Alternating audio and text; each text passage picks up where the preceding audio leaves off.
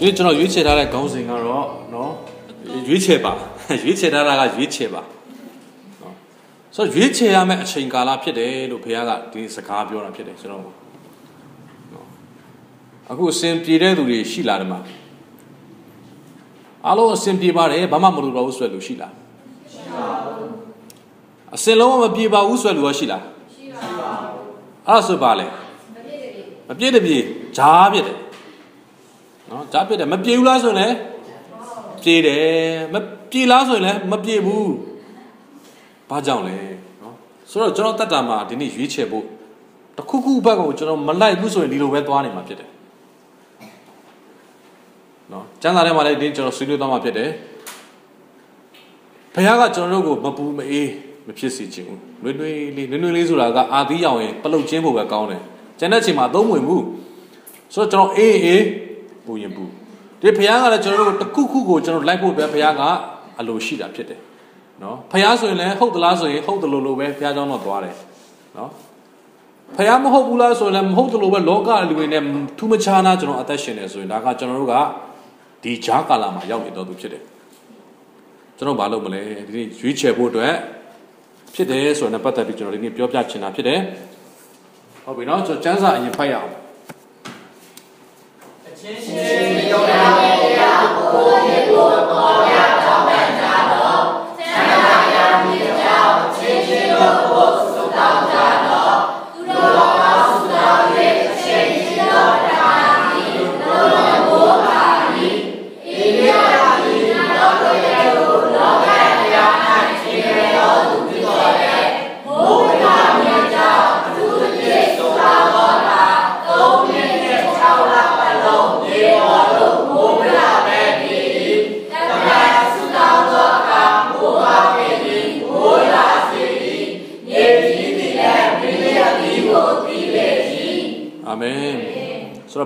ပြောမလဲဆိုရင်တော့ဘောပေါက်သွားပြီเนาะအေလိယအကြောင်းဖြစ်တယ်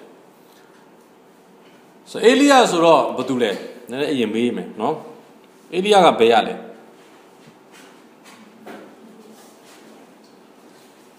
ကြားဘူးလားကျမ်းစာထဲရပဲเนาะဒီကြားလဲ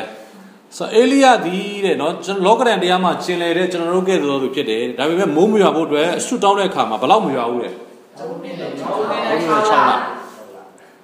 3နှစ်နဲ့6လပတ်လုံးမိုးမရွာဘူးတဲ့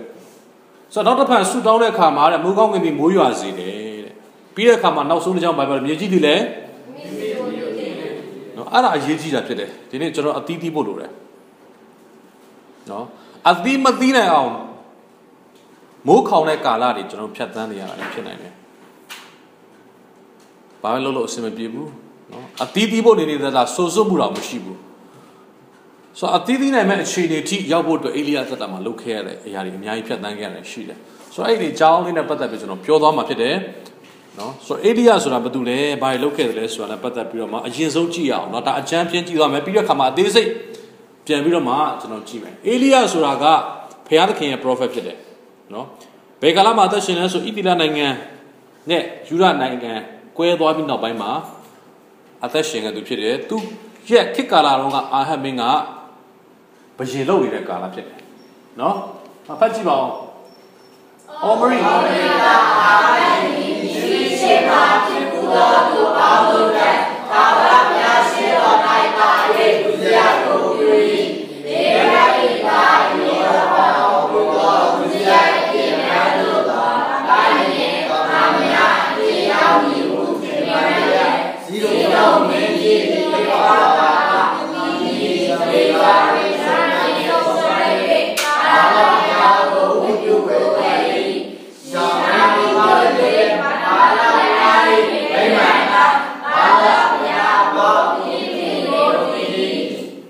ဘာလဖျားဖို့ရစ်ပလင်ကိုတဲ့တယ်လို့ပြောတယ်ဆိုတော့ဣသရေလနိုင်ငံကအရင်တော့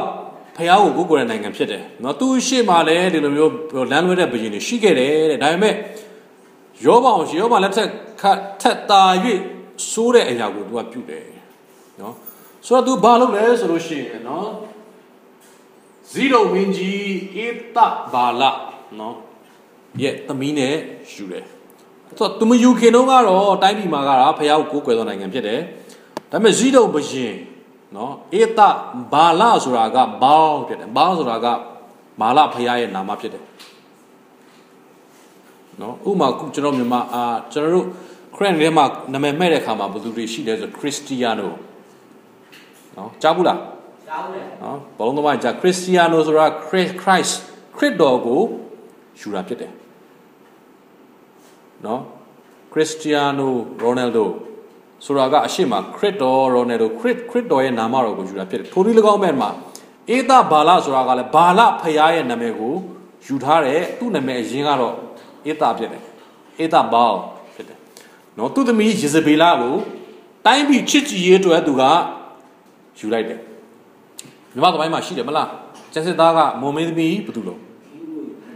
ခင်ဥမို့နော်ခင်ဥ နော်မုံသမီးခင်ဥကိုမိဖုရားမြောက်လိုက်တယ်ဘာကြောင့်လဲနိုင်ငံချစ်ကြည်ရေးရာသူကမိဖုရားမြောက်လိုက်တယ်တော့ပေါက်တယ်နော်ဆိုတော့ဒီမှာလဲကျွန်တော်တို့နော်အာဟတ်မင်းကဣဒဘာလာသမီးကိုယူလိုက်တာကဘာကြောင့်လဲဆိုရင်နှစ်နိုင်ငံချစ်ကြည်ရေးအတွက်လူမှုရေးအရာယူလိုက်တယ်ယူလိုက်ပြီးတဲ့အခါမှာဖြစ်လာလို့ဆိုရင်တိုင်းနိုင်ငံမှာဘာလဖရားရဲ့ရစ်ပလင်တွေတည်လာတယ်ကိုယ်ွယ်မှုကတခါတည်းပါလာတာဖြစ်တယ် ပြီးဆက်သွားမယ်နော်ဆိုတော့ဣသရေလနိုင်ငံတွေကိုဘာရောက်လာလဲဆိုလို့ရှိရင်မှားယွင်းသောကိုယ်ွယ်မှုတွေရောက်လာတယ်မှားယွင်းသောကိုယ်ွယ်မှုတွေရောက်လာနေရာတွေယူလာတယ်ဒီပရောဟိတ်တွေပါလာတယ်ဟုတ်ပြီနော်ဆိုတော့ဘာလဘုရားကိုယ်ွယ်မှုဆိုတာဘာလဲနည်းနည်းဆက်ကြည့်အောင်နော်ဘာလဘုရားကိုဝိပုကိုယ်ွယ်ခြင်းပုံစံနော်မွေးကိစ္စကလေးတွေများကိုယေဘုသောခြင်းဘာလာယူခြင်းကအရှင်မြတ်အားစက္ကခြင်းကာမစက္ကခြင်း နော်ဒါကနည်းနည်းပဲရှိတယ်ဒီတက်အများကြီးရှိသေးတယ်ဆိုတော့ဘာလာဘုရားကိုကိုးကွယ်တယ်ဆိုတဲ့အခါမှာယုတ်တုမှာတွေ့တယ်နော်ယုတ်တုရှိပါမှာမွေးကင်းစားကလေးတွေကိုအရှင်လက်လက်ဘာလို့ ਆ လဲပြပူစော်တယ်တိုက်ရတယ်နော်ပြီးတဲ့အခါမှာဒါတွေကကျွန်တော်ဒုတိယတစ်ခုကတော့တိတ်ပြောလို့မကောင်းလို့ဒါကသူတို့ချေ့မှာကိုကိုကိုဘုရားကိုပေးတယ်ဆိုပြီးတော့မှသွားပြီးတော့ပူစော်တာဖြစ်တယ်နော်ကျမ်းစာထဲမှာကြည့်တဲ့အခါမှာကျွန်တော်ကောရိန္သုဩဝါဒစာဆောင်ထဲမှာနော်ကောရိန္သုမြို့ရဲ့အခြေအနေကလည်းဒီအခြေအနေဖြစ်ခဲ့ဘူးတယ် El Product ကြားဘူးလားမြန်မာပြည်မှာအရင်တော့ထက်ထက်မဟုတ်ကြော်ညာတဲ့မိတ်ကက်လေ Alprodite နှခမ်းနေတော့ Alprodite ဆိုတာကတကယ်တော့ Greek နဲ့ဘုရားမရဲ့နာမည်ဖြစ်တယ်အချစ်နဲ့သမီးဖြစ်တယ်ဆိုတော့အချစ်နဲ့သမီးရဲ့နန်းတော်သူ့ရဲ့ဗိမာန်တော်မှာတွားပြီးတော့မှစက္ကတ်သောအမျိုးသမီးကအပြူစင်ဖြစ်ရတယ်နော်အဲ့မှာ free စက္ကတ်တဲ့သူအယောက်400နဲ့600လောက်ရှိတယ်စက္ကတ်တယ်ဆိုတာကကြိုက်တဲ့လူတာသူတို့နဲ့အတူလာနေလို့ရတယ် သူတို့ကအချစ်အတွက်သူတို့ကပေးဆက်တယ်ဖခင်အတွက်စက္ကတ်တယ်ဆိုတဲ့အဓိပ္ပာယ်ဖြစ်တယ်နော်ဒါကနောက်ပိုင်းမှာတဆင့်ပြီးတဆင့်ပေါ်လာတဲ့အကြောင်းအရာဖြစ်တယ်ဆိုတော့ဘာလာဘုရားကိုကိုးကွယ်တဲ့ပုံစံကအဲ့လိုဖြစ်တဲ့အခါမှာဘုရားကကြိုက်မယ်လို့ထင်တာကြိုက်ဘူးဆက်စုပ်ယွန်ရှာပွဲဖြစ်တယ်မွေးကစားကလေးကိုဘယ်သူကပူဇော်ခြင်းပါလဲဒါပေမဲ့အဲ့ဒီကိုးကွယ်မှုကနိုင်ငံထဲကိုရောက်လာတဲ့အခါမှာအဲ့ဒါကမလုပ်လို့မရတော့ဘူးလောက်ရဖြစ်တယ်ဣသရေလလူမျိုးတွေကလည်းရောရောက်ပြီးတော့မှအရင်တော့ထောက်ရာဘုရားဖြစ်တယ်အခုကျတော့ ဘာလာဘုရားလို့လို့ဘာလို့နော်ဖြစ်လာတယ်။အိုးထောက်ရဘုရားမို့လို့အိုးဘာလာဘုရားဖြစ်လာတယ်။ကိုးကွယ်ခြင်းတွေကပြောင်းလဲလာတယ်။ဆိုတချို့ကလည်းစဉ်းစားတယ်ငါ့ငငယ်တော့ကိုးကွယ်လာဒါမဟုတ်ပါဘူး။နော်။ဘာကြောင့်လို့ဒါကိုကိုးကွယ်ရလဲဆိုဒွိဟဖြစ်နေတယ်။ဟိုလိုလိုဒီလိုလိုဖြစ်နေတယ်။နော်။ဆိုတော့အဲ့လိုအခြေအနေဖြစ်နေတယ်။ဆိုတော့ဒီဟာလေးမသွားခင်ကျွန်တော်ပြောမယ်။အဲ့လိုအခြေအနေဖြစ်တဲ့အခါမှာဖခင်ကဘာပြောလဲဆိုအေလိယကိုဆေလွတ်တယ်။ ဆေလွတ်ပြီးတော့မှဖခင်ကအေလိယကိုပြောတယ်ကဲဆုတောင်းငါနော်ဣသရေလနိုင်ငံကိုဖခင်ခင်စီရင်မယ်ဒီနေ့ကစပြီးတော့မှမိုးမရွာစေဘူးအင်တန်ကာလပတ်ကိုကာလအချိန်တစ်ခုတော့မိုးမရွာစေဘူးလို့ဖခင်ကမိတ်ပေးလိုက်တယ်နော်အဲ့ဒါကဓမ္မရာဇဝင်တတိယဆောင်းအခန်းကြီး16မှာအခန်းငယ်1မှာပြောတာဖြစ်တယ်ပြောလိုက်တဲ့အခါမှာတကယ်အဲ့ဒီအစာကြီးမိုးလုံးဝမရွာတော့ဘူး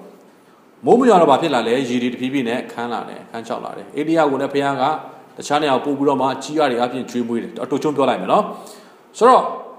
အဲ့ဒါနဲ့အဲ့လိုမျိုးမိုးခေါင်တဲ့ကာလကြာပြီးတော့မှ၃နှစ်ပြည့်တဲ့ခါမှာတဲ့နော်၃နှစ်ပြည့်တဲ့ခါမှာဘာဖြစ်လာလဲဆိုတော့ဖခင်ကအေလိယတစ်ခါပြန်ပြောတယ်ကဲအေလိယရေ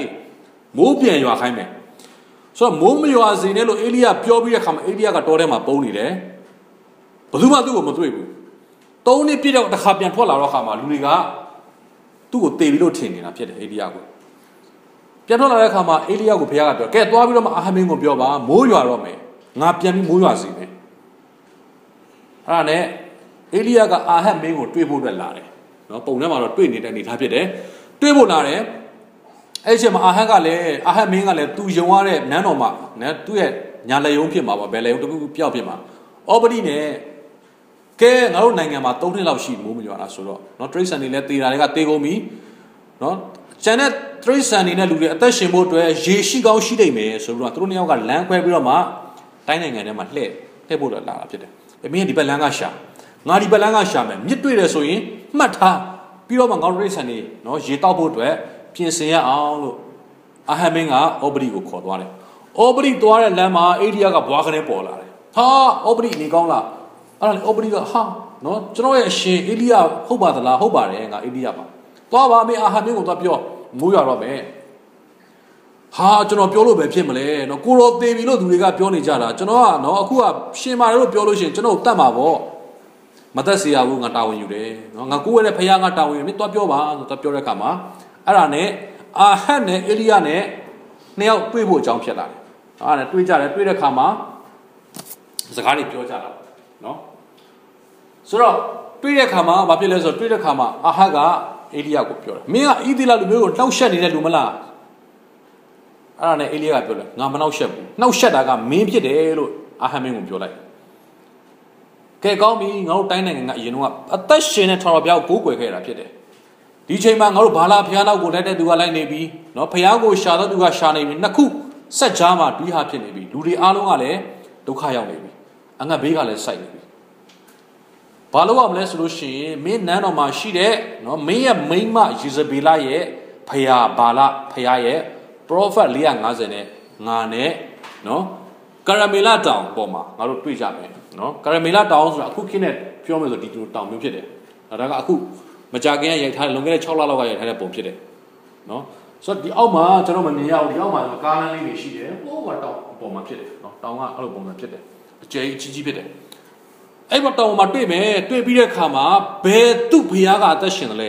ဆိုတာကိုစိတ်ခေါ်မယ်နော်ဆိုတော့ဒီမှာ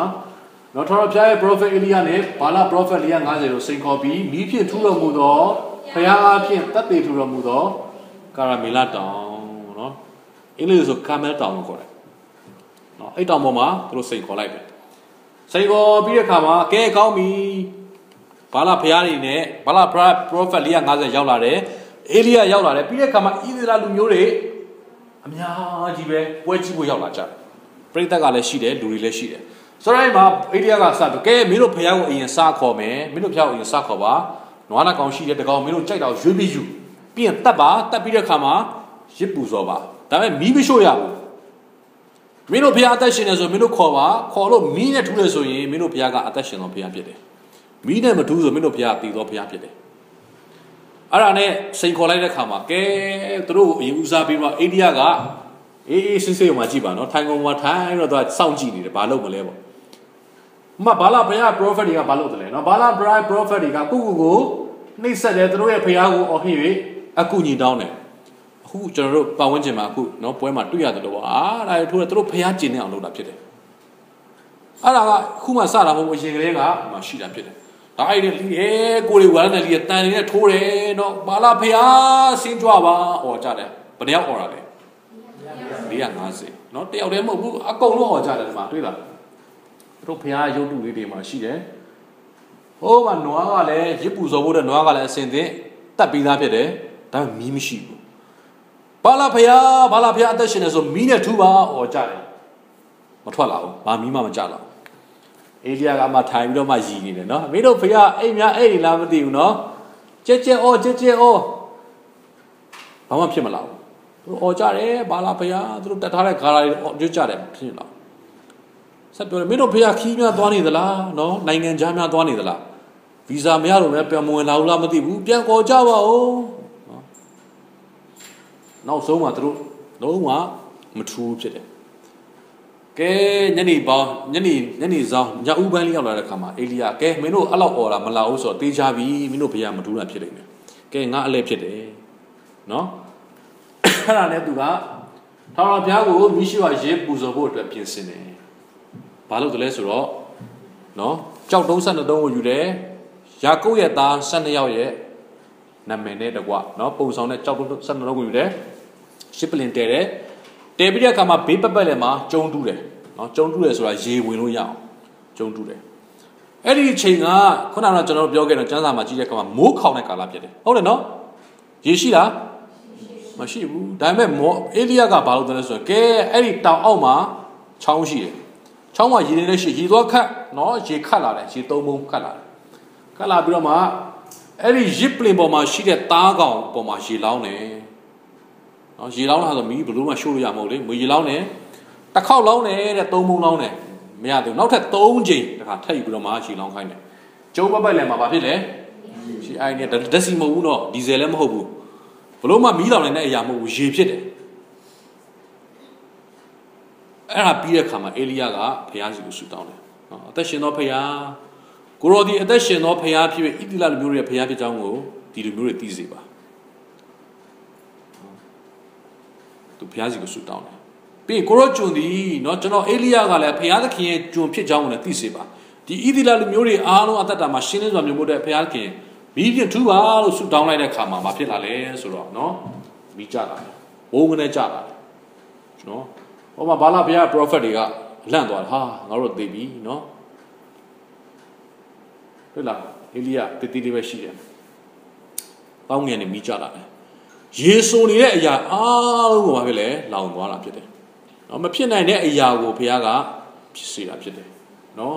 မိလောင်သွားတယ်မိလောင်သွားတဲ့အခါမှာရစ်ပလင်တစ်ခုလုံးမိလောင်တယ်ကျိုးပေါ်မှာလည်းမိတွေလောင်ကုန်တယ်တေချာသွားပြီဒါဒီလိုမိနဲ့ထူတဲ့ဘုရားကအသက်ရှင်တဲ့ဘုရားပဲအဲ့ဒါဣသရေလလူမျိုးတွေအားလုံးကနော်အားလုံးကအေလိယကိုးကွယ်တဲ့ဘုရားအသက်ရှင်တဲ့ဘုရားဖြစ်တယ်ဆိုတာကိုလက်ခံလာတယ်နော်အဲ့ဒီခါမှာအေလိယကဘာလို့ကဲကောင်းပြီဘာလာ prophet အားလုံးလာပါ နော်ဘာလာ prophet အားလုံးကို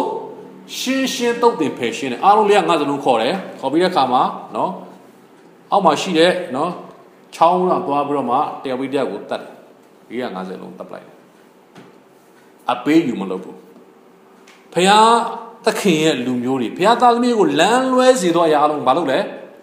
ရှင်းရှင်းဖြတ်စည်းလိုက်တယ်ဘာလာနဲ့ပတ်သက်တဲ့ prophet တယောက်မှဣသရေလနိုင်ငံမှာမရှိတော့ဘူးအကုန်လုံးတတ်ပလိုက်တယ်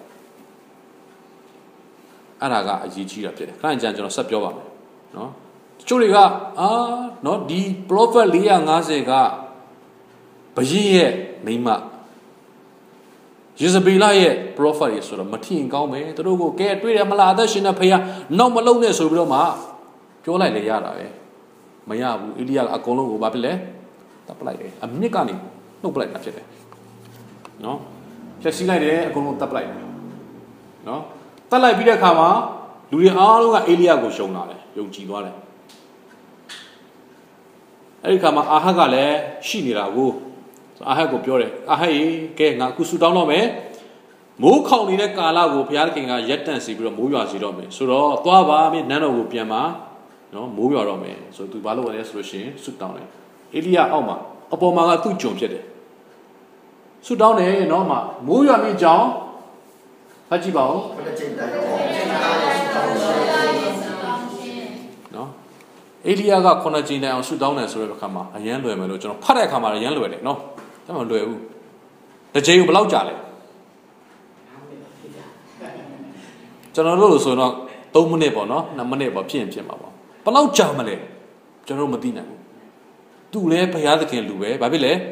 ကြိုးစားပြီးဆူတောင်းရတယ်လို့ကျမ်းစာကပြောတယ်နော် သူ့ရဲ့ခေါင်းကိုတဲ့ဒူးနှလုံးချမ်းမှာညှက်ပြီးတော့မှဘုရားကိုអော်ပြီးဆူတောင်းတယ်ဘုရားကဘလို့တောင်းမလဲတော့ကျွန်တော်မသိဘူးကျွန်တော်တို့သိတာတော့မိုးရွာစေဖို့တောင်းတာဖြစ်တယ်ကြိုးစားပြီးတောင်းတယ်တစ်ချိန်တောင်းတယ်သူ့ဂျုံကပြောတဲ့အပေါ်မှာနော်ကဲမင်းပင်လေကိုသွားကြည့်စမ်းဘာတွေ့လဲဂျုံကပြေးလာတခင်ဘာမှမတွေ့ဘူးငါဆူတောင်းမယ်တော့တစ်ခါတောင်းတယ်ဘုရားကမိုးရွာစေပါမိုးရွာစေပါတောင်းတယ်ကဲသွားကြည့်ပါဦးပြေးသွားတယ်ပြန်လာတယ်ဘာတွေ့လဲဘာမှမတွေ့ဘူးအချိန်ချိန်တောင်းတယ်စူးစမ်းပြီးတောင်းတယ် ခொနချိန်မြောက်တဲ့အခါမှာသူ့ဂျုံကပြေးပြန်လာအာကိုရောအိုးပင်လယ်ထဲမှာလူလက်နဲ့တူတဲ့အရာနော်လက်သီးစုံတော့တခုတွေ့တယ်တိမ်လေးတွေ့တယ်ဟုတ်လားအဲ့ဒါဆို तू မတောင်းတော့ဘူးကဲမင်းသွားပြီးတော့မှပြောပါအာဟမင်းကိုနော်နန်းတော်ကိုပြန်มาနန်းတော်ကိုမရောက်ခင်မှာမိုးရွာနိုင်မယ်မိုးမိပြီးတော့မှဒုက္ခရောက်မှာဆိုလို့ပြောလိုက်တယ်နော်အဲ့ဒါနဲ့သူဂျုံကတော့ပြောတဲ့အခါမှာအာဟကလည်းမြင်းကိုစီးပြီးတော့မှနန်းတော်ကိုပြန်တယ်နော်ပြန်တဲ့အခါမှာဘာဖြစ်လဲဆိုတော့အခါမှာနော် ပြန်တဲ့အချိန်မှာအေလိယကလည်း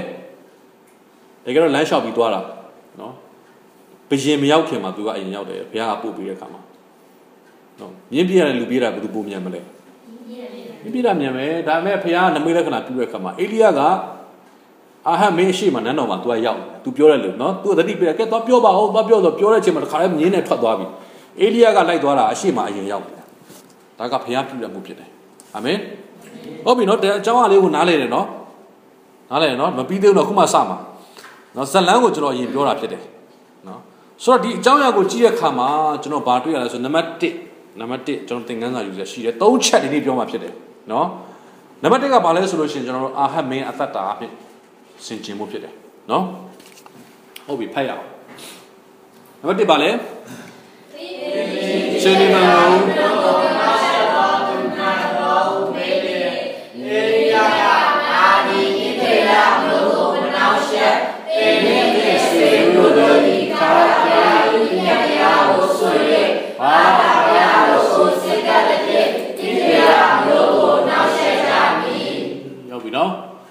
ဆိုတော့အာဟတ်မင်းကသူ့အနေနဲ့လူမှုရေးအရာလှုပ်လိုက်တဲ့အရာကိုသူမှားမှန်းသူမသိဘူးပြဿနာကတာဖြစ်တယ်ဒါခါလေကျွန်တော်တို့ကဖယားနဲ့ပတ်သက်ပြီးတော့မှလှုပ်တဲ့အရာတချို့မှာလူမှုရေးတွေပါလာတယ်နော်လူမျက်နှာကိုအားနာတယ်ဟာငါပြောလိုက်ရင်ဘယ်လိုဖြစ်မလဲနော်ကျွန်တော်တက်တာမှာအားနာဖို့ကောင်းတဲ့လူမှုရေးပြဿနာတွေပါလာတဲ့အခါမှာဖယားရှိမှကျွန်တော်ဘာယူရမှမသိဖြစ်သွားတယ်အာဟတ်ကလည်း तू မသိဘူးသူ့ကိုယ် तू ကိုယ့်အခြေအနေကိုကိုနားမလဲဘူးနော်မိမိအခြေအနေကိုမိမိမသိဘူး ဆိုတော့ဒီမိုးခေါင်တဲ့ပြဿနာဖြစ်တဲ့အရာကသူ့ကြောင့်ဖြစ်တယ်ဆိုတာကို तू ကမသိဘူးမသိဘဲနဲ့အေလိယကဖျားကိုဆူတောင်းလို့မိုးမရွာဘူးဆိုတာကိုပဲသိတဲ့အခါမှာအေလိယကိုအပြစ်တင်တယ်မင်းအေဒီလာလူမျိုးကိုနှောက်ရှက်တဲ့သူမင်းဖုတ်တယ်မလားလို့မေးတဲ့အခါမှာအေလိယကပြောတယ်ဖျားရဲ့ပြည့်ညတ်တော်ကိုစွန့်ပြီးတော့မှနှောက်ရှက်တော်သူကအာဟတ်မင်းကိုယ်တိုင်ဖြစ်တယ်လို့ပြောတာဖြစ်တယ်နော်ဆိုတော့ဒီနေ့ကျွန်တော်တတ်တာမှာနော်ဘဝမှာတစ်ခါကြရင်အစင်မပြေတာတွေရှိတယ်နော်ဒုက္ခတွေရှိတယ်ပြဿနာတွေရှိတယ် ဆိုတော့ကျွန်တော်တခြားသောအရာတွေလည်းညှိုးထိုးတတ်တယ်ဒါပေမဲ့ကိုကိုကိုအရင်စမ်းစစ်ဖို့လိုတယ်အာဟတ်ကကိုကိုကိုစမ်းစစ်ဖို့မေ့နေတယ်နော်ဖယားမကြိုက်တဲ့အရာတွေကိုသူ့အတ္တတာတွေကိုခေါ်လာတယ်မကဘူးသူ့နိုင်ငံတွေကိုခေါ်လာတယ်ဒီကျွန်တော်တတ်တာမှာဖယားမကြိုက်တဲ့အရာတွေကျွန်တော်တို့မိသားစုဘဝတွေကိုခေါ်လာသလားကျွန်တော်ဘဝတွေကိုခေါ်လာသလားကျွန်တော်အတွေးခေါ်တွေကိုခေါ်လာသလားအဲ့အခြေအနေကိုကျွန်တော်သိဖို့ဖြစ်တယ်ဒီကျွန်တော်အသက်တာမှာဘယ်အရာတွေဖျားမကြိုက်တယ်ခေါ်လာတယ်လဲ နော်ရစ်ပလင်အောင်တည်လာတယ်နော်ဒုတိယတစ်ခုဆက်ပတ်ရအောင်အေးရမင်းဒုတိယဆရာတော်လာရဲ့တေလိုဒီပါနာပါစကြာမှာဘေည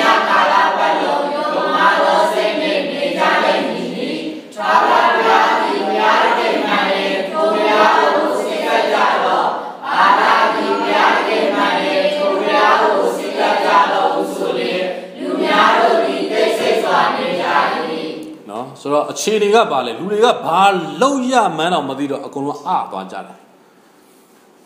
အသက်ရှင်တဲ့ဘုရားကိုကိုးကွယ်မလားဘာလားဘုရားနောက်လိုက်မလားအားလုံးကမတေချာတဲ့ခါမှာအားလုံးတိတ်ကျွန်တော်လည်းတခုခုမေးတဲ့ခါမှာအဖြေမသေးချင်ဘာလုပ်လဲအားလုံးကတိတ်သူတို့လည်းမသေးချဘူးเนาะဒါတိတ်စိတ်တယ်ဆိုတာအတိတ်ဘယ်ကမသေးချဘူးဖြစ်တယ်အေလီယာနောက်ကိုလိုက်ရအောင်ကလည်းမသိဘူးဘာလာနောက်ကိုလိုက်ရအောင်ကလည်းမသိကြဘူး ဆိုတော့အဲ့ဒါကဘာအကျိုးဆက်လဲဆိုရင်အာဟတ်မင်းရဲ့ဘာလာဖျားကိုခေါ်သွင်းလာတဲ့အကျိုးဆက်နောက်ပိုင်းမှာကြာလာတဲ့အခါမှာလူတွေကဖျားနဲ့ပတ်သက်တာမိသွားတယ်ဒီကျွန်တော်သက်တာမှာဖျားမကြိုက်တဲ့အရာအသက်တာတွေကိုခေါ်သွင်းလာတဲ့အခါမှာလူမှုရေးရခေါ်သွင်းလာတဲ့အခါမှာစီးပွားရေးရခေါ်သွင်းလာတဲ့အခါမှာနော်အပေါင်းအသင်းဆက်ဆံရေးခေါ်သွင်းလာတဲ့အခါမှာဖြစ်ဖြစ်ချင်းတော့ကိုမသိဘူးကြာလာတဲ့အခါမှာကျွန်တော်တို့အတွင်းဝိညာဉ်တွေကဖျားနဲ့ပတ်သက်တဲ့အရာကစွန့်အားသွားတယ်ဘာမှမသိတော့ဘူးဖျားဆိုရင်လည်းတရားဟောရင်လည်း အဲဟုတ်မလို့လို့အဲ့ဒါနဲ့ပြီးသွားတယ်တခြားအရာဆိုရင်အဲဆိုပြီးသွားတယ်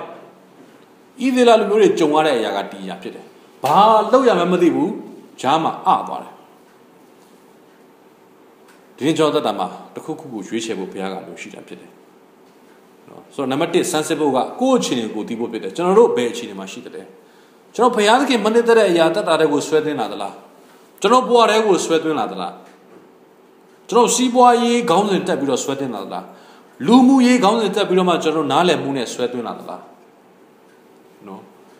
ရရောက်ချင်းတော့မသိတာဘူးဒါပေမဲ့ကြာလာတဲ့အခါမှာအဲ့ဒီအရာကကျွန်တော်တို့ရဲ့ဖျားနဲ့ပတ်သက်တဲ့အရာတွေကိုစွန့်အားသွားစေတာဖြစ်တယ်လူတွေအားလုံးတိတ်ဆိတ်နေဒီနေ့ကျွန်တော်ဝိညာဉ်ကလည်းတိတ်ဆိတ်နေတယ်ဖျားဆိုရင်လည်းစိတ်လှုပ်ရှားမှုမရှိတော့ဘူးဖျားကောင်းမြတ်ပါတယ်ပြောရင်ကောင်းတာတော့ကောင်းတာပေါ့လေဆိုပြီးတော့မှတိတ်ဆိတ်သွားပြီလား excited မဖြစ်တော့ဘူးနော် ဘုရားနဲ့ပတ်သက်လာကျွန်တော်ရင်မခုန်တော့ဘူး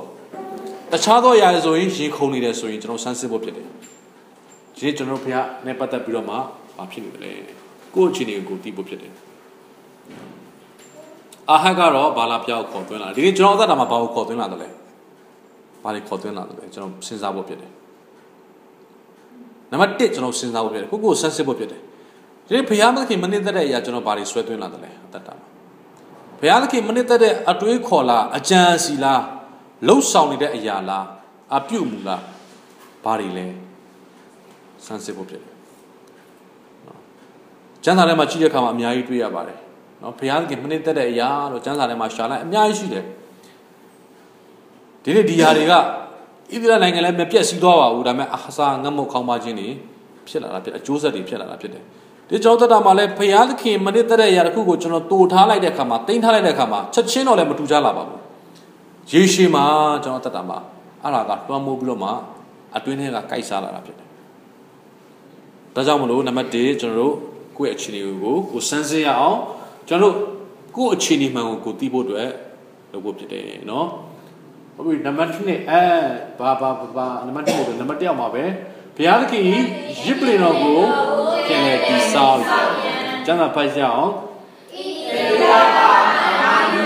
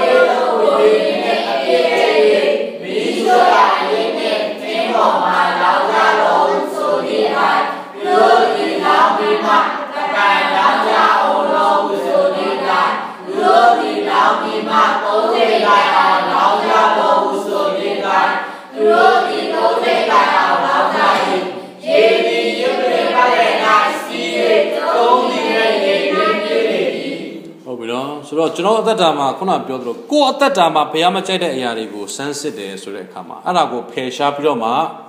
မလုပ်ဖို့လေဘုရားသခင်ရဲ့ရှစ်ပလင်တည်ဖို့ဖြစ်တယ်ကိုယ်ချင်းကိုစမ်းစစ်ပြီးတော့ကိုမသိသေးသေးကတော့ဘုရားသခင်ရှစ်ပလင်တည်ဖို့လည်းအခြေအနေဖြစ်မလာဘူးဘယ်အရာကိုဖယ်တော့မသိဘူးလေဆိုတော့ဘုရားကိုစိန်ခေါ်ဖို့ဖြစ်တယ်ဘုရားသခင်တော့ဒီမှာလည်းအိရိယကစိန်ခေါ်တဲ့ကိုရောကိုရောမှန်တယ်ဆိုရင်တခုခုလုပ်ပါရှင်းလင်းစွာဖြစ်လာတဲ့အခါမှာအိရိယကဘာလုပ်တယ်လဲဘုရားအတွက် ရှစ်ပလင်ကိုတည်တယ်ဣသီလနိုင်ငံမှာထောင်ရဘုရားရှစ်ပလင်မရှိတာကြာသွားပြီဒီကျွန်တော်တတ်တာမှာဘုရားသခင်မျက်မှောက်တော်မရှိတာကြာသွားပြီလားဆန်းစစ်ဖို့ဖြစ်တယ်သုံးနှစ်လောက်ရှိသွားပြီဘုရားသခင်ရှစ်ပလင်မရှိဘူးနော်ဒီကာရမီလာတောင်ကာမဲတောင်ပေါ်မှာဘုရားသခင်ရှစ်ပလင်ကဲနော်ဘာလာဘုရားရဲ့ prophet တွေမင်းတို့တွေဘုရားမထူးဆိုရင်ငါတို့ဘုရားရဲ့ပလင်တည်မယ်တည်လာဖြစ်တယ်တေချာတည်တယ်တေချာလုတ်ပြီးတဲ့အခါမှာပြင်ဆင်ကြတယ်နော်ရေလောင်းတယ် တေချာတူးတယ်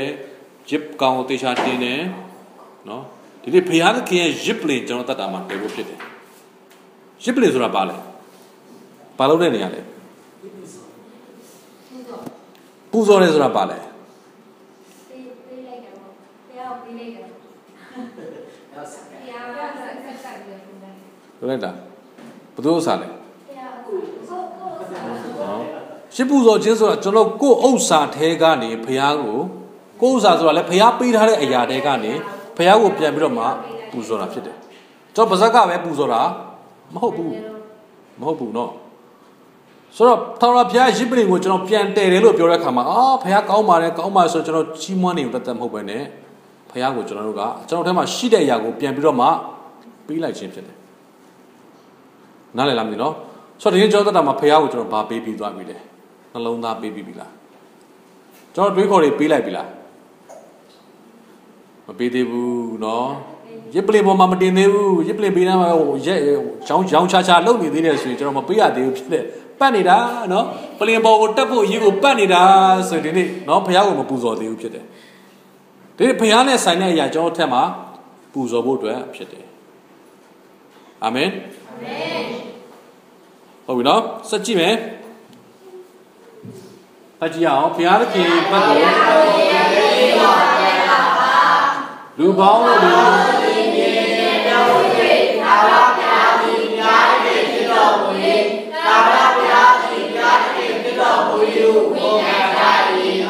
အမေနော်ရစ်ပလင်တည်ပြီးတော့မှအသက်ရှင်လာတဲ့ခါမှာဘုရားကအလုံးလုံးလာတယ်အလုံးလုံးလာတဲ့ခါမှာဘုရားသခင်သည်ကျွန်တော်အသက်တာမှာအသက်ရှင်ကြောင်းကိုဘာဖြစ်လဲလူတွေကသိလာဖို့ဖြစ်တယ် ဒီနေ့ကျွန်တော်တို့ကဖယားသားဖြစ်တယ်ဆိုတာကိုကိုကိုယ်တိုင်မှသိချာမသိသေးဘူးဆိုရင်လူတွေသိဖို့မလွယ်သေးဘူးနော်ရစ်ပလင်တဲပြီးတော့မှဖယားကိုပူဇော်လာတယ်ဖယားကလည်းကျွန်တော်အသက်တာမှာအသက်ရှင်သောဖယားဖြစ်တယ်ဆိုတာထူးလာတဲ့အခါမှာလူတွေကမြင်ပြီးတော့မှဖယားဘက်ကိုကူးလာတာဖြစ်တယ်နော်ဒီမှာပြောထားတယ်ဖယားဘက်ကိုရေးရဲဆိုတာပြန်လာပါဒီနေ့ကျွန်တော်အသက်တာမှာဖယားဘက်ကိုရွှေ့ဖို့ဖြစ်တယ်အလယ်မှာကျွန်တော်တို့ကရှိနေတယ်တစ်ဖက်မှာဖယားရှိတယ်တစ်ဖက်မှာဘာလာရှိတယ်ဟုတ်တယ်နော် ဆိုကျွန်တော်တို့ကလည်းတစ်ခါကျရင်ဘာလာနာကတ်လိုက်တာတော့ဟွာကြီးရဒါလေးရလောကမှာဆိုတော့လေမပြည့်စုံပါဘူးတစ်ခါနေလည်းဖြစ်တင်ပါတယ်ရှိတင်ပါတယ်ကျွန်တော်ကတ်လိုက်တယ်တလူတွေရောက်တဲ့ခါဟာကိုရောကျွန်တော်မှားသွားပါတယ်ကိုရောတကယ်တော့ကျွန်တော်မလုပ်တင်မှန်းသိပါတယ်ကိုရောပြန်လာတယ်နော်ကျွန်တော်ကနေတယ်ကျွန်တော်ဟိုဘက်ကလိုက်ဒီဘက်ကလိုက်နော်ဖြစ်နေတဲ့ခါမှာဘုရားကကျွန်တော်တက်လာမှာအသက်ရှင်ကြောင်းကိုလူတွေကမမြင်ဘူးအပြင်လူတွေအပြင်လူလိုပဲနော်ဒါကတော့ဘောရာကဏ္ဍလေဆရာပဲပြောလို့ရမယ်တကွက်တပလားတော့ချမှာပေါ့ ချလိုက်တယ်ဘာဖြစ်ဘူးပြန်လာတယ်ဒီလိုရောက်တော့ပြန်လာကိုတော့အော်ကျွန်တော်သုံးမိသမီးကိုတော့မှားသွားတယ်ကိုတော့ခွင့်လွတ်ပါပြန်လာတယ်နော်အဲ့လိုပြောလို့ကျွန်တော်အဲ့လူတွေကိုပြောတာမဟုတ်ပါဘူးနော်ဘာလာဘုရားနဲ့ဆိုင်တော့အရာပေါ်မှာကျွန်တော်ရက်တီလို့ပြောတဲ့အခါမှာကျွန်တော်တောက်တာစားတာပဲမဟုတ်ဘူးဒီကျွန်တော်အတွေးခေါ်တွေဆိုင်တာဖြစ်တယ်ကျွန်တော်ပြုတ်မှုတွေဆိုင်တာဖြစ်တယ်သူများလို့မတော့ဘူးသူများလို့မစားဘူးဒါပေမဲ့ကျွန်တော်တို့ကသူများကိုအတင်းပြောတယ်ဆိုရင်ကျွန်တော်တို့လည်းအိပ်ဘက်မှာပဲ သူများပေါ်မှာလည်းကြည့်လို့မရတာကြာပြီဟုတ်လားအဲကြောက်ကချိုးမပြေဘူးဆိုရင်လည်းဒါလည်းကျွန်တော်ဘာလာဖျားပတ်မှာပဲဖြစ်တယ်ဘုရားမကြိုက်တဲ့စိတ်ဓာတ်နဲ့ကျွန်တော်အသက်ရှင်နေတာဖြစ်တယ်တော့ပေါ့တယ်နော်ဆိုတော့ကျွန်တော်တို့ဘုရားဘက်မှာရွှေဖို့ဖြစ်တယ်ဘုရားဘက်ကိုလုံးဝရဲစွာရွေးချယ်ဖို့ဖြစ်တယ်ဒီနေ့ဘုရားအတွက်ရစ်ပလင်တည်ပြီးတော့မှဘုရားကကျွန်တော်အသက်တာထဲမှာဝင်လာတယ်ကျွန်တော်ကိုမီးနဲ့ထူးပြီးသွားပြီဆိုတဲ့အခါမှာကျွန်တော်အသက်တာကဘုရားဘက်ကိုလုံးဝရွှေ့ပြောင်းလာမှုဖြစ်တယ် ဘုရားလည်းပြနေပါပြီတကိုးလည်းတွေ့နေပါပြီမပြောင်းသေးဘူးဆိုရင်ကျွန်တော်တို့အသက်တာကဒုံရင်းကဒုံရင်းပဲဖြစ်မှာဖြစ်တယ်เนาะဆက်ကြည့်မယ်ဟုတ်ပြီဒုတိယချက်ပါပါဘုရားကိုရှင်းရှင်းပြစီပါเนาะအေလိယကလည်း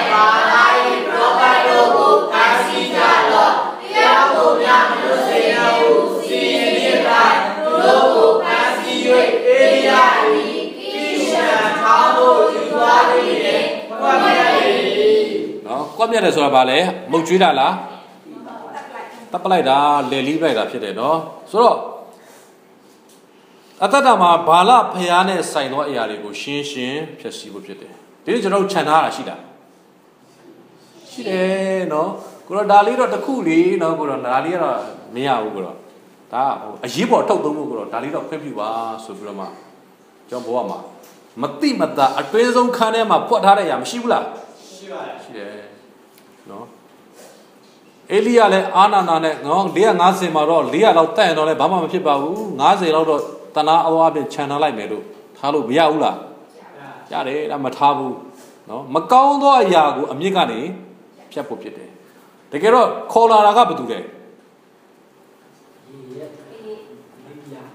နော်ဘုရင်ရဲ့မိဖုရားအာဟက်ရဲ့မိန်းမယေဇဗေလဖြစ်တယ် ဒါပေမဲ့ယေဇဗေလကိုအေလိယကသွားထိလို့မရဘူးเนาะသူကနန်းတော်မှာအကာကွယ်နေတဲ့ခါမှာသူ့ရဲ့ prophet တွေကိုအကုန်တတ်ပလိုက်တယ်မိန်းကကြံနေတာဖြစ်တယ်ဒါပေမဲ့ကျွန်တော်တို့ကမှဖယားသခင်နဲ့ပတ်သက်ပြီးတော့မှကျွန်တော်တို့ကိုဆွဲချနေတဲ့အရာတွေရှိတယ်ကျွန်တော်တို့ကိုလမ်းမစေတဲ့အရာရှိတယ်ကျွန်တော်တို့အသက်တာမှာကိုယ့်ရဲ့ဘာလာကဘာလို့လဲကိုသိသလား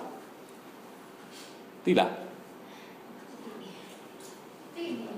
သိတော့သိနေတယ်နော်မတက်ရက်ဘူးလား ကိုတော့ရေးဒါလေးကချစ်စရာလေးနော်မတက်ရက်ဘူးလားနှမျိုးစရာကြီးကိုတော့ရေးနော်တော်တော်လေးကိုအဖို့ခပေးပြီးတော့မှလှုပ်ထားတဲ့အရာဖြစ်နေသလားနော်သေချာပြန်စဉ်းစားမှဆိုရင်ဘာလဆိုတဲ့အရာကလည်းနော်ဣတိလလူမျိုးအားလုံးကို၃နှစ်လုံးလုံးဒုက္ခရောက်အောင်လုပ်ခဲ့တဲ့အရာကလည်းဒီဘာလပဲဖြစ်တယ် ဒီကြောသတာမှာသူဘာလမှာလည်းကောင်းတဲ့အချက်လေးတွေတော့ရှိမှာပေါ့ပျော်ရွှင်စရာကောင်းတဲ့အချက်လေးတွေလည်းရှိမှာပါပဲသူတို့အထဲမှာကျွန်တော်သတာမှာလည်းဘာလလေးတွေရှိတယ်နော်ကျွန်တော်သတာတွေစိတ်ကြည်နေစရာပေးတဲ့အရာလေးတွေရှိမှာပဲဒါပေမဲ့သူ့အားဖြင့်နောက်ဆက်တွဲဖြစ်လာတဲ့ဆိုးကျိုးတွေကိုကျွန်တော်တို့မစင်စားတတ်ဘူးဘာလာအပြင်ဘာဖြစ်လာလဲအစာခေါင်းမခြင်းဖြစ်လာတယ်မိုးမရွာတော့ဘာဖြစ်လာလဲအစာခေါင်းမခြင်းဖြစ်လာတယ်စိုက်လို့မရတော့ဘူးနော်မနေ့တုန်းကကျွန်တော်တို့ဒီမှာအပူလိုင်းဖြစ်တဲ့အခါမှာရီရီခမ်းသွားတယ်ဖုကက်မှာတော်တော်ဒုက္ခရောက်သွားတယ် ဒီနေ့ဆိုရင်ပူလိုက်တာတချို့နေရာဆိုရေမလာဘူးရေဝက်သုံးရတယ်ဒါတော့မှမိုးရင်းဂျာဒီတခုပဲမိုးကပုံမှန်မရွာတာပဲဖြစ်တယ်မရွာတာမဟုတ်ဘူးမရွာတာပုံမှန်မရွာတာဖြစ်တယ်နော်ကျွန်တော်ဒီနာဝက်ချလောင်နာရေရေကန်ဆိုရင်ရေခမ်းသွားတယ်အိုးကျွန်တော်ဘောင်းဝတ်10ကနော်တမျိုးလုံးကိုရေပေးနေတဲ့နေရာသွားကြည့်တဲ့ခါမှာရေကအောက်ထိဆင်းလို့ရတယ်ကျွန်တော်တို့နော်ဆိုတော့ဒါကခဏလေးပဲဖြစ်တယ်ဣသရေလနိုင်ငံမှာတစ်နှစ်မဟုတ်ဘူး၃နှစ်လောက်မိုးမရွာဘူး ရေဆိုတာရှာလို့မရတော့ဘူးခန်းချောက်မှုတွေဖြစ်လာတယ်ဒုက္ခတွေဖြစ်လာတယ်စားစရာတွေမရှိတော့ဘူးဒါပေမဲ့လည်းအားလာတယ်နော်ဒီဖះကိုတည်လာတာကငါတို့ဘယင်လေမပြောဘဲနဲ့နေတဲ့ခါမှာဒုက္ခပိုရောက်တာဖြစ်တယ်ဒီကျွန်တော်ဘဝမှာလည်းဘာလနဲ့ပတ်သက်တဲ့အရာတွေရှိတယ်နော်ဒါပေမဲ့သူ့ရဲ့နောက်ဆက်တွဲသူ့အားဖြင့်ဖြစ်လာတဲ့အရာတွေကိုကျွန်တော်မမြင်ဘူးအာနာပြီးတော့မှထားနေတဲ့ခါမှာနောက်ဆက်တွဲလေးတွေဖြစ်လာတာဖြစ် ဒုက္ခတွေဖြစ်လာတယ်ပြဿနာတွေဖြစ်လာတယ်နော်ပြဿနာဒုက္ခတွေဖြစ်တဲ့ခါမှာတော့ကိုရောဘာလို့လဲဖះကိုတော့မေးတော့မေးရှာပါတယ်ဒါပေမဲ့ကိုကိုကိုမမြင်ဘူးအာဟတ်ကလည်းဘသူကိုမြင်လဲဒုက္ခရောက်တာအေလိယကြောင့်လို့မြင်တယ်ကိုကိုကိုမမြင်ဘူးပြဿနာအဲ့ဒါဖြစ်တယ်ဒီနေ့ဘုရားသခင်ကကျွန်တော်တက်တာမှာတစ်ခါကျရင်ပေးတွေ့တဲ့စုံစမ်းခြင်းတွေဒုက္ခတွေနော်ပေးတွေ့တဲ့ဘုရားသခင်ကခွင့်ပေးလိုက်တဲ့အရာတွေရှိတယ်အဲ့ခါမှာဘုရားသခင်ကျွန်တော်ဘုရားကိုပြင်းမြင်တယ်ကိုတော့ဘာလို့လဲကိုတော့မကြည့်ထားဘူးလား တကယ်တော့မဟုတ်ဘူးနော်ကျွန်တော်တက်တာမှာခွင့်ပြုလိုက်တဲ့ဘာလတွေရဲ့အကျိုးဆက်ဖြစ်နေတာဖြစ်တယ်အဲမလို့ဘာလကိုရှင်းရှင်းဖြည့်ဆည်းဖို့လိုတယ်နော်မဖြည့်ဆည်းနိုင်တာမှန်ပါတယ်ဒါပေမဲ့ကျွန်တော်တို့နော်အေလိယလည်းအကုန်လုံးမဖြည့်ဆည်းနိုင်ပါဘူးသူတက်လန်တဲ့လောက်အားလုံးသူ့ကိုယ်ထဲဝင်လာအကုန်လုံးကိုဖြည့်ဆည်းတာဖြစ်တယ်ဒီကြောသက်တာမှာလည်းအားလုံးမဖြည့်ဆည်းနိုင်တာမှန်ပါတယ်မဖြည့်ဆည်းနိုင်ပါဘူးနော်လောကမှာရှိနေတဲ့အခါမှာမဖြည့်ဆည်းနိုင်ပါဘူးဒါပေမဲ့ကြောသက်တာမှာရှိနေတဲ့ဘာလရဲ့သက်ဆိုင်သောအရာတွေတက်နိုင်တဲ့လောက်ဘာလို့ရမလဲ ဖြည့်ဆည်းဖို့ဖြစ်တယ်အမြင့်ကနေဖြတ်ဖို့ဖြစ်တယ်အသက်ရှင်ဝင်ပေးလို့မရဘူးဖြည့်ဆည်းဖို့ဖြစ်တယ်နော်နံပါတ်၄ချက်ဖြစ်တယ်နော်နားလည်လားဘောပေါက်တယ်နော်သဘောပေါက်ပြီးတော့မှလိုက်လျှောက်ဖို့ဖြစ်တယ်နော်ဟုတ်ပြီနော်နံပါတ်3ဆက်သွားရအောင်နော်မိုးပြန်ရွာဖို့အတွက်မိုးပြန်ရွာဖို့အတွက်ဆုတောင်းပါကျန်တာဖတ်ရအောင်အာဟတ်သည်အာဟတ်သည်သာတော်ရှိမှတက်သွား၍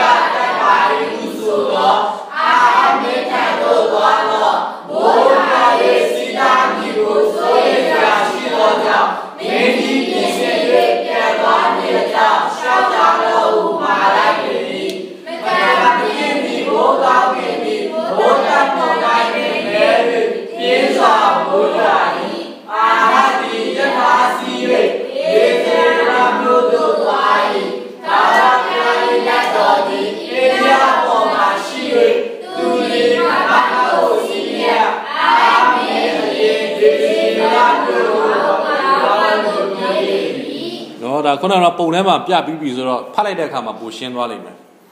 ဆိုအေလိယကခုနဂျင်းနဲ့အောင်ကြိုးစား၍ဆူတောင်းတယ်ဒီနေ့ကျွန်တော်သက်တာမှာ6တွေ့နေတဲ့အရာတွေမိုးပြင်အောင်ဘာလို့ရမလဲဆူတောင်းဖို့လိုလေဆူတောင်းဖို့လိုလေဆူတောင်းတယ်ဆိုတာဘာလဲဆူတောင်းတယ်ဆိုတာဘာလဲဆန်စကူဆရာမတွေနော်အဲပြောပါဦးဆူတောင်းတယ်ဆိုတာဘာလဲဘုရားနဲ့စကားပြောတယ် ကျွန်တော်စကားပြောကြလားပြောတယ်ဘလို့ပြောကြလဲအခုတယောက်နဲ့တယောက်စကားပြောတဲ့အခါမှာကျွန်တော်တယောက်နဲ့တယောက်စကားပြောတာတူလားမတူဘူး ဘူးเนาะအနေအမြင့်တက်ကြရှိလားမရှိဘူးလားရှိတယ်ရှိတယ်တချို့တွေကအေးအေးဆေးဆေးဆူတောင်းတယ်ကိုရောဗျာဘလာဘလာဘလာတုတ်တိတ်ဆူတောင်းတာမကောင်းလားကောင်းတယ်မလိုဘူးလားလိုတယ်เนาะတယောက်နဲ့တယောက်ကျွန်တော်တို့စကားပြောတဲ့အခါမှာဘာဘာဘာဘာဟောပြောရင်ကြိုက်လားကြိုက်ဘူးညင်ညင်သာသာပြောတယ် ဆိုတော့ဆူတောင်းခြင်းလို့ပြောတဲ့အခါမှာတချို့တွေကအေးဆေးဆူတောင်းဆိုတာဘုရားကိုအေးဆေးပြောတာတို့ကနော်ဘုရားကင်းဒီလိုလိုရှိတယ်ဒီလိုရှိတယ်မကောင်းလားကောင်းတယ်အာရပါဆူတောင်းတယ်နော်ဘုရားကိုကျွန်တော်ပူဇာတာတချို့ကကိုရောလှုပ်ပြီးတော့ကိုရောဒါမှပြမမကောင်းလားတော့ကောင်းတယ်သူ့အချိန်နဲ့သူမရှိဘူးလားရှိတယ်ကျွန်တော်ဝိညာဉ်တိုက်ပွဲဝင်တယ်အခုနော်စာတန်ကိုမောင်းထုတ်တဲ့အခါမှာအတကုံអော်ကြတယ်အဲ့တော့လို့လားကျွန်တော်ခွေးတကောင်လာတယ်ကဲသွားတော့ သွားတော့မင်းသွားတော့သွားချင်သွားတော့ပြောလို့ရလားမရဘူးမရဘူးဘာလို့ရတယ်လဲအော်ဟဲ့ရတယ်သွားချူအော်ဟုတ်တယ်မလားဆိုတော့ဖယားသခင်နဲ့စကားပြောပြီးတော့မှကျွန်တော်တို့နော်စာတန်ကိုမောင်းထုတ်တဲ့ခါမှာဖြစ်စီကျွန်တော်သုံးရတဲ့အတုံးတို့အတုံးအတန်အနေမြတ်တဲ့ကြမတူဘူးသူကလည်းရှိကြတာဖြစ်တယ်သူ့နေရာနဲ့သူမရှိဘူးလားရှိတယ်ဆိုတော့ဖယားနဲ့စကားပြောခြင်းစူတောင်းခြင်းလို့ပြောတဲ့ခါမှာကျွန်တော်တို့ယူထားတဲ့အရာတစ်ခုတည်းပဲ တယူသေးတရသေးယူလို့မရဘူးတချို့ကစူညံလာမကြိုက်ဘူးတချို့ကလည်းအေးစီးတာမကြိုက်ဘူးကျမ်းစာထဲမှာကြည့်တဲ့ခါမှာအားလုံးပါတယ်နော်စူတောင်းတဲ့ခါမှာဘယ်လိုတောင်းအောင်လဲဆိုတာစာလံကျမ်းထဲမှာကြည့်တဲ့ခါမှာတချို့ကနော်ဘူးထောက်ပြီးတောင်းတယ်တချို့ကမတ်တက်ပြီးတောင်းတချို့ကလက်မြောက်ပြီးတော့မှတောင်းတယ်တချို့ကအိပ်ပြီးတော့မှပတ်လက်အိပ်ပြီးတောင်းတယ်အားလုံးတောင်းကြမယ်ထင်တယ်နော် ညတိုင်းညတိုင်းကျွန်တော်ထင်တာတော့အားလုံးကိုရောအိပ်ပြီနော်ဆိုတော့မှတောင်းကြတာအဲ့ဒါချက်ကတော့တော်တော်လေးတောင်းကြလိမ့်မယ်ထင်တယ်ပတ်လက်တောင်းတယ်နော်ဆိုတော့ဘုရားကိုဆူတောင်းတဲ့ခါအမျိုးမျိုးရှိတယ်သူ့ချိန်နဲ့ဒီချိန်တွေမှာဒီချိန်တွေကိုကြည့်တဲ့အခါမှာအေလိယကအဲ့လိုတောင်းလို့မရဘူးနော်အဲ့ပြီးတော့ကိုရောမိုးရွာစီပါကိုရောမိုးရွာစီပါနော်လို့ပြောလို့မရတော့ဘူးစူးစမ်းပြီးတော့မှတောင်းရတဲ့အချိန်ဖြစ်လာတယ်အာမင်အာမင် ဒီကျွန်တော်ကမိုးလေးရွာစီခြင်းတယ်ကိုရောမိုးရွာစီပါမိုးရွာစီပါဆိုတာကဘာနဲ့တူလဲအေးစစ်စစ်ကိုရောရွာရင်လည်းရွာမရွာလည်းမရွာဆိုတော့အတိတ်ပဲဖြစ်တယ်ဒါပေမဲ့စူးစမ်းပြီးတောင်းခြင်းလို့ပြောတဲ့အခါမှာဖះကိုပူစားတာကိုရောတခုခုလုပ်တော့မရတော့ဘူးနော်ကိုရောလုပ်တော့နော်ဖះကိုလက်ကိုကန်ပြီးတော့မှလှုပ်တဲ့အနေအထားဖြစ်တယ်စူးစမ်းတယ်နော်ဒူးနှလုံးကြားမှာခေါင်းကိုထားပြီးတော့မှအော်တယ်ဖះကိုဆူတောင်းတယ်စူးစမ်းပြီးတောင်းတယ်ခုနချိန်တောင်းတယ်ခုနကျွန်တော်ပြောခဲ့လို့တစ်ချိန်မှာဘယ်လောက်ကြာမလဲကျွန်တော်မသိဘူး ဘယ်လောက်တောင်းနေမလဲသူသူလည်းတောင်းတယ်ကျွန်တော်တို့ဘယ်လောက်ကြာအောင်တောင်းလဲဆူတောင်းတဲ့ခါမှာ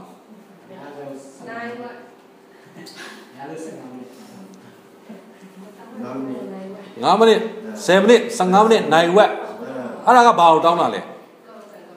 အာလိုချင်တာတွေကောကျွန်တော်တိတယ်မြအကုန်ပတ်ပြီးတော့တောင်းတာဟုတ်တယ်မဟုတ်လားအခုအေလိယကမိုးရွာဖို့ဆိုတဲ့အချက်တစ်ချက်ကိုတောင်းတာတော်တော်ကြားတယ်ဘာတွေပြောလဲတော့မသိဘူးနော် မိုးရွာစီပါမိုးရွာစီပါမိုးရွာစီပါမိုးရွာစီမိုးရွာစီပါလို့ပဲပြောတာလားဒါမှမဟုတ်သူနည်းနဲ့နော်ဒီဣသရေလနိုင်ငံမှာဖြစ်ပျက်တဲ့အကြောင်းအရာတွေအားလုံးကိုဘုရားကိုပဲစီလာပတ်ကိုရှောက်တင်ပြီးတော့မိုးရွာဖို့တော့ပြောတာလားကျွန်တော်မသိပါဘူးဒါပေမဲ့တေးကြတာတခုကတော့သူကစူးစမ်းပြီးတော့မှတောင်းတယ်ဆိုတော့တွေ့ရတယ်နော်ဒီနေ့ကျွန်တော်တက်တာမှာဘုရားကိုစူးစမ်းပြီးဘယ်နှခေါက်တောင်းပြီးပြီလဲဒါကိုကျွန်တော်ဘုရားကိုအားနာတာကိုရောပြီးနေပြီးနော်မပြီးလဲရတယ်ကိုရောမပြီးလဲကိုရောတခုခုကျွန်တော်စီစဉ်လိုက်တော့မယ်ဆိုတာမျိုးလားနော် နံပါတ်1ဗာလဲခုနကကျွန်တော်ဖတ်ပြောတော့တဲ့အကြောင်းအရာမှာနံပါတ်1မိမိရဲ့အခြေအနေမှန်ကိုသိဖို့လိုတယ်နံပါတ်2ဘာလာဘုရားရဲ့ဘာလာနဲ့ဆက်ဆိုင်တဲ့အရာတွေကိုရှင်းရှင်းပြတ်စီးဖို့ဖြစ်တယ်နံပါတ်3ခုကပြောထားတယ်စတောင်းပါခုနကျွန်တော်ယာကုပ်မှာပတ်ခဲ့တာပါလဲမိုးရွာပြီးတဲ့အခါမှာမြေကလည်းအသီးနှံကိုတီးစေတယ်လို့ပြောတယ် ဒီကျွန်တော်တို့ကအသီးနှံတော့လိုချင်တယ်မိုးရွာဖို့အဆုမတောင်းဘူးဆိုရင်ဒီနေ့သက်တာမှာမိုးရွာဖို့အတွက်လိုတာဖြစ်တယ်နော်ဆိုတော့ဒီနေ့ကျွန်တော်သက်တာမှာမိုးရွာဖို့အတွက်ဆုတောင်းဖို့လိုတယ်စူးစမ်းပြီးတော့မှဘာလို့မလဲဆုတောင်းရမယ်တောင်းနေပြီလားတောင်းနေပြီစူးစမ်းလားဘယ်လောက်စူးစမ်းလဲ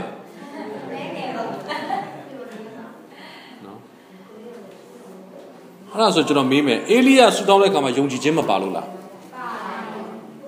မပါဘူးလားပါတယ်နော်ဒါပေမဲ့သူကယုံကြည်ခြင်းပါတိုင်းတချို့အရာတွေကချက်ချင်းမရောက်လာဘူးအေလိယဖះလူပါနော်ဒါပေမဲ့ယာကုပ်တော့ပြောအေလိယသည်လေတဲ့ငါတို့ကဲ့သို့လောကဓာတ်မှာကျင်နေတော်သူဖြစ်တော်လေလို့ပြောထားတယ်သူလည်းတာမန်လူကဲ့သို့ပဲလို့ကျမ်းစာကပြောချင်တယ်ပဲဖြစ်တယ်ဖះအသုံးပြုတာကတက္ကနာသူလည်းတာမန်လူပဲစိတ်ဓာတ်မကြဘူးလားသူ ကြားတယ်တော့ဒီကိစ္စတွေဖြစ်ပြီးတော့မှယေဇဗေလကတီးတဲ့ခါမှာသူတတ်ဖို့ရှာတဲ့ခါမှာသူကဖះကိုတော့ကျွန်တော်သိခြင်းတယ်နော်ကျွန်တော်တယောက်တည်းပြေးရလောက်ရတာသိခြင်းတယ်လို့ဘုရားကိုပြောတော့သူဖြစ်တယ်ဆိုလိုတာကသူကလည်းခံစားချက်ရှိတဲ့တာမန်လူဖြစ်တယ်မိုးရွာဖို့အတွက်သူကခုနှစ်ချိန်ဆူတောင်းတယ်ဆိုတော့တွေ့ရတယ်ဒီကျွန်တော်သက်တာမှာကောင်းကြီးတော့လိုချင်တယ်အစင်လည်းပြေးခြင်းတယ်ဒါပေမဲ့ကျွန်တော်တို့ဆူတောင်းခြင်းမှာအားလျှော့ဖို့မဟုတ်ဘူးဖြစ်တယ် နားလည်လားနော်စူးစမ်းပြီးဆူတောင်းဖို့ဖြစ်တယ်ကျွန်တော်ကိုယ်တိုင်မှစပြီးဆူတောင်းခြင်းမှာအားမကြီးပါဘူးဒါပေမဲ့စူးစမ်းပြီးတော့မှတောင်းဖို့ဖြစ်တယ်နော်စူးစမ်းရဆိုတာဘာလဲစူးစမ်းကညှစ်ထုတ်တာနော်ညှစ်ထုတ်တာညှစ်ထုတ်တာနော်လှုပ်ချင်လို့လို့မဟုတ်ဘဲနဲ့ကိုယ့်ဘက်ကအားထုတ်ရတာကိုစူးစမ်းရတယ်ပြောတယ်နော်ဒီနေ့ကျွန်တော်ထမင်းနှစ်ပကံစားဖို့စူးစမ်းရလို့လားငါးပကံပြည့်အောင်စားမယ်ဆိုဘာလုပ်ရမလဲ ကြိုးစားမယ်သုံးပကံတော့ဖြစ်ဆိုဘိုက်ကိုလှုပ်လိုက်နော်အာတကုံထဲလိုက်အဲ့ဒါကကြိုးစားတာဖြစ်တယ်ကဲမြို့ထဲကိုလမ်းလျှောက်ရအောင်ဆိုရင်လမ်းမလျှောက်နိုင်ဘူးနော်တဝက်လမ်းတော့လောက်ဆိုမောပြီဒါပေမဲ့ကြိုးစားပြီးလျှောက်ပါဆိုရင်လျှောက်ရတော့မယ်ခြေထောက်နိုင်ရင်လည်းလျှောက်ပေါက်ရင်လည်းလျှောက်ရတော့မှာဖြစ်တယ်ဒါကြိုးစားခြင်းဖြစ်တယ်ဆူတောင်းပါလို့ပြောတဲ့အခါမှာတောင်းတယ်9မိနစ်နဲ့ကုန်သွားတယ်အဲ့ဒါကဆူတောင်းခြင်းဖြစ်တယ်ဒါပေမဲ့ကြိုးစားပြီးတောင်းပါလို့ပြောတဲ့အခါမှာထပ်ပြီးတော့မှညှစ်ထုတ်ဖို့ဖြစ်တယ် မာရသွန်ပြေးဘူးလားပြေးဘူးပါတယ်ပြေးဘူးတယ်ပန်းနိုင်အောင်ရောက်လားနော်ဆိုတော့မာရသွန်ပြေးတဲ့အခါမှာကျွန်တော်လည်းပြေးဘူးတယ်နော်ပြေးတဲ့အခါမှာကျွန်တော်တို့ကပုံမှန်အပြေးကျင့်တဲ့အခါကျတော့ကိုနားကျင်နားလို့ရတယ်လေပြေးမောရဲ့ခါရေတောက်လိုက်ကျွန်တော်ဆိုအရင်တော့ကနေမာနေတဲ့ခါမှာပြေးမာရသွန်ပြေးတယ်မာရသွန်ပြေးဖို့အတွက်မနက်ပိုင်းကျွန်တော်မနက်လေး၄နာရီခွဲထားပြီးတော့မှလမ်းပြေးကြတယ်နော် ဒီမှာကျိုင်းတို့မှာနေဘူးတဲ့ဆရာမမမိုင်တို့သိတယ်မယ်ကျွန်တော်အိမ်ကနေမနက်စောကြီးထားတော့မှထပြေးတယ်ပြေးတဲ့ခါမှာနော်မနက်မိုးစောစောစောပြေးတယ်နားချင်ရင်နားတယ်ပြီးတော့ဟိုးရေပူစမ်းတီးအောင်ပြေးတယ်ပြီးရင်ပြန်လာရင်ကျတော့မုတ်စားတော့အေးစင်းလန်းလျှောက်ပြီးပြန်လာနော်ဒါပေမဲ့ပြေးလိုက်တဲ့ခါမှာကျမ်းမာရေးတော့ကောင်းသွားတယ်ဒါမာရသွန်ပြေးပွဲရှိတယ်ဟဲ့မီနီမာရသွန်နော်မာရသွန်ကြီးမဟုတ်မီနီမာရသွန်ဆိုတဲ့ခါမှာမာရသွန်ရဲ့တစ်ဝက်လောက်ပဲရှိတယ်ကဲပြန်ပွဲရှိတယ်ပြိုင်တဲ့ခါမှာတော်တော်တိတာတယ် နော်အရင်တော့ကကိုလေ့ကျင့်တယ်လို့လုပ်လို့မရတော့ဘူးလေ့ကျင့်တဲ့ခါမှာနားကျင်ပါဖြစ်လေနားလိုက်တယ်လမ်းလျှောက်လိုက်တယ်ပြီးရင်ဆက်ပြေးလိုက်တယ်ဒါပေမဲ့တကယ်ပြိုင်ပွဲရတဲ့ခါမှာနားလို့မရတော့ဘူးနော်အားထဲတဲ့အချိန်မှာထဲ့တယ်နားတဲ့ခါကျလို့ရှိရင်လမ်းလျှောက်လို့မရဘူးနည်းနည်းလေးခြေနှမ်းလေးကိုကြီးရတယ်နောက်ဆုံးမှဘလို့ဖြစ်လာလဲစတာမီနာနော်တော်တော်တက်လုံကစကားပြောလာတယ်ပြေးတော့ပြေးနေတာပဲဒါမဲ့နော်အထဲမှာရှိတဲ့စတာမီနာကလှုပ်လှုပ်လာတဲ့ခါမှာပုံမှန်လေးသွားနေတယ် လက်ရက်လို့မရတော့ဘူးခြေထောက်ကသွားနေဒိုးစားပြီးပြေးတယ်တချို့တွေကကားပေါ်တက်သွားတာမြင်ရတယ်နော်မနိုင်တော့ဘူးကားပေါ်တက်သွားတယ်ကိုလည်းကားပေါ်တက်မလားမတက်ဘူးငါပန်းနိုင်အောင်ပြေးမယ်ဆက်ပြေးတယ်ဆက်ပြေးတယ်ဆက်ပြေးတယ်နော်တယောက်ပြီးတယောက်ကြော်လာတယ်ကြော်လာတယ်ကြော်လာတယ်ကိုယ်ကြော်လာတော့မရှိဘူးဒါပေမဲ့ကိုကနောက်ဆုံးကနေပြေးတာဘူးနော်ပြေးတယ်ပြေးတယ်ပြေးတယ်ပြေးတယ်ကိုသိတဲ့တငယ်ချင်းတွေတယောက်ပြီးတယောက်ကြော်လာတယ်နောက်ဆုံးမှနံပါတ်9နဲ့ဝင်သွားတယ်နှစ်သိန်းစုပတ်စံ200ရတယ်နော် ကျွန်တော်ပြောချင်တာပါလဲဆိုမာရသွန်ပြည့်တဲ့အခါမှာကြိုးစားရတယ်နော်ခဏခဏစိတ်ထဲမှာပါပေါ်လာလဲဆိုနားလိုက်တော့လေမင်းဒီချိန်မှပန်းဝင်နေဆိုလဲဘယ်တော့မှရမှာမဟုတ်ဘူးနော်ပြင်ပန်းတာပဲရှိတယ်စိတ်ထဲမှာပြန်ပြန်ဝင်လာတယ်ကြိုးစားလို့ပြောတဲ့အခါမှာအရှုံးမပေးတာဖြစ်တယ်ဒီဖရားအတွက်ဆွတောင်းတယ်ကျွန်တော်တို့စူးစမ်းရေးဆွတောင်းခြင်းလို့ပြောတဲ့အခါမှာလည်းနားထဲမှာဝင်လာမှာပဲတော်ပြီလေလောက်ဆိုဖရားလည်းကြားပြီလေနော်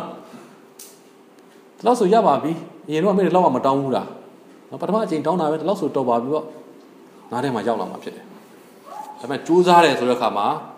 အားစိုက်တာဖြစ်တယ်ရှိတဲ့အထဲကနေကျွန်တော်ထုတ်တာဖြစ်တယ်မလုတ်ချင်ဘူးလှုပ်ရတဲ့အရာစူးစမ်းခြင်းဖြစ်တယ်နော်ဆူတောင်းခြင်းမှာတစ်ခါကျမွတ်မလာဘူး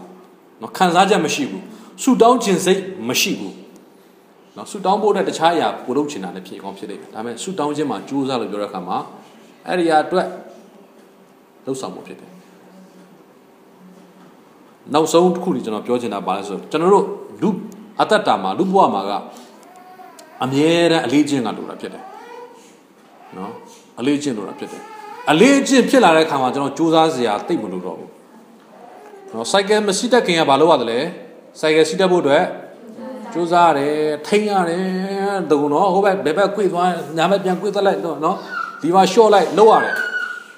ဒါပေမဲ့အလေးချင်းရလာတဲ့အခါမှာအဲ့လောက်လုံးဆက်လို့လား လို့တော့လက်တွေပါလွတ်လာပြီအဲပညာတော့ပြလာပြီနော်ဘာကြောင့်လဲဆိုလို့ရှိရင်အလေးချင်းဖြစ်လာလို့ဖြစ်တယ်ဒီကျွန်တော်ဘဝမှာအလေးချင်းမဖြစ်ခင်မှာအရန်ကြိုးစားရပါတယ်နော်ဘောလုံးကန်တာဖြစ်ဖြစ်အားကစားလှုပ်ရှားတာဖြစ်ဖြစ်တခုခုကိုစလုပ်တဲ့ခါမှာကြိုးစားရတယ်နေဆူတောင်းခြင်းကလည်းကျွန်တော်အလေးချင်းဖြစ်လာရင်ကြိုးစားစရာမလိုတော့ဘူးနော်နားလည်လားမသိနော်ဆိုတော့ဒီနေ့ကျွန်တော် ကိုယ်တိုင်မှစ၍ဒီမှာရှိတော်သူရောက်စီတိုင်းကျွန်တော်ခွန်အားပေးခြင်းပါတယ်เนาะပထမချက်ဒုတိယချက်တတိယချက်မှာတတိယချက်ကိုကျွန်တော်အဓိကခွန်အားပေးခြင်းပါတယ်စူးစမ်းပြီးတော့မှဆုတောင်းဖို့ဖြစ်တယ်အင်္ဂလိပ်လိုကျွန်တော်တို့စကားတစ်ခုရှိတယ် no pray no power เนาะဆုတောင်းခြင်းမရှိရင်ဆုတောင်းခြင်းရဲ့ရလက်တကိုးလည်းမရှိဘူး နေဆုတောင်းတော့သူအသက်တာမှာဘုရားကလည်းပေါ်ပြတယ်ဘုရားကလည်းစကားပြောတယ်သူများထက်ပို့ပြီးတော့မှလမ်းစမ်းခြင်းတွေရှိတယ်ကောင်းသောအရာကိုခံရတယ်ဆုတောင်းခြင်းမရှိတဲ့အခါမှာသူများလိုလည်းမဟုတ်တော့ဘူးနော်ဆိုတော့ဒီနေ့ကျွန်တော်တို့ဆုတောင်းရအောင်ကြိုးစားပြီးတော့မှဆုတောင်းရအောင်ဒီဒီချက်၃ချက်အပြင်ကျွန်တော်ခွန်အားပေးခြင်းတာဖြစ်တယ်နံပါတ်1ကိုယ့်အချင်းလေးမှကိုသိအောင်လုပ်ရအောင်ဒီနေ့ကျွန်တော်တို့ဘာတွေနဲ့ဆက်လွယ်မှုရှိနေသလဲဘာတွေနဲ့ကျွန်တော်ရောဆက်နေသေးသလဲ နော်တမောင်းကာလာတော့ကဖခင်ကအမြဲတမ်းနော်သူနဲ့တွေ့ဖို့အတွက်အမြဲတမ်းတန့်ရှင်းခြင်းကိုအရင်တောင်းတာဖြစ်တယ်။သုံးရက်ကြိုတော့မှတန့်ရှင်းအောင်နေပါဘုရားခင်ဆင်းတွေ့မယ်မောရှိကိုပြောတယ်။ဒီဓမ္မသစ်ကာလမှာကျွန်တော်တန့်ရှင်းခြင်းကိုအဓိကဘုရားက focus ထားပြီးတော့မပြောတော့ပါဘူး။ဒါပေမဲ့အသက်တာမှာဘုရားနဲ့တွေ့ဖို့အတွက်အသက်တာမှာပြင်ဆင်ခြင်းရှိဖို့လိုတာဖြစ်တယ်။ကျွန်တော်ဘာနဲ့ရောနေတယ်လဲ။ဘုရားမကြိုက်တဲ့အရာဘာနဲ့ရောနေတယ်လဲ။ရှင်းရှင်းလင်းလင်းသိပြီးတော့မှဖယ်ထုတ်ဖို့ဖြစ်တယ်။နံပါတ်1ဘာလာနဲ့ဆိုင်တဲ့အရာတွေ နော်ဖះမကြိုက်တဲ့အရာတွေကျွန်တော်အသက်တာထဲကနေရှင်းနိုင်တဲ့လောက်ရှင်းအောင်ဖြတ်စီဖို့ဖြစ်တယ်ဖယ်ရှားပြဖို့ဖြစ်တယ်နံပါတ်3နော်မိုးရွာပြီးတော့မှအသီးသီးဖို့အတွက်အသက်တာမှာမိသားစုမှာဘဝမှာလုပ်ငန်းကံကန်းမှာစူးစမ်းပြီးတော့မှဘုရားနိုင်ကိုဆုတောင်းရအောင်အာမင်နော်အေလိယစူးစမ်းပြီးဆုတောင်းပြီးတဲ့အခါမှာဘုရားသခင်လက်တော်ကဘာပြောလဲထာဝရဘုရားလက်တော်သည်အေလိယပေါ်မှာရှိပြီလို့ပြောထားတယ်နော်ဘုရားလက်တော်ကျွန်တော်ပေါ်မှာရှိလာတဲ့အခါမှာ တဘာဝထက်ထူးခြားတဲ့ຢာတွေအသက်တာမှာဖြစ်လာမှာဖြစ်တယ်အာမင်နော်အေရိယာသက်တာမှာဘုရားသခင်လက်တော်ရောက်လာတဲ့အခါမှာနော်သူ့ရှိကသွားတဲ့အာဟမင်းရဲ့အရှိမကြိုပြီးတော့မှမြို့တကားကိုသူကရောက်နေတယ်ဇံရတာဖြစ်တယ်ဒီနေ့ကျွန်တော်ဘုရားသခင်ရဲ့မျက်မှောက်တော်ထဲမှာမှွေးလျော်ပြီးတော့မှဆူတောင်းခြင်းသက်တာရှိလာတဲ့အခါမှာနော်ဘုရားသခင်ရဲ့တဘာဝလွန်လှုပ်ဆောင်တဲ့အရာတွေအသက်တာထဲမှာမြင်တွေ့ရမှာဖြစ်တယ်ဆိုတဲ့အကြောင်းနဲ့ပေါ့ဒီလောက်နဲ့ပဲကျွန်တော် ခွန်အားပေးခြင်းပါတယ်ဒီသုံးချက်အားဖြင့်ကျွန်တော်အသက်တာတွေဆင်ခြင်ပြီးတော့မှတမီခွန်အားယူဖို့ပဲခွန်အားပေးခြင်းနဲ့ရောက်ရှင်ဘုရားကောင်းချီးပေးပါစေ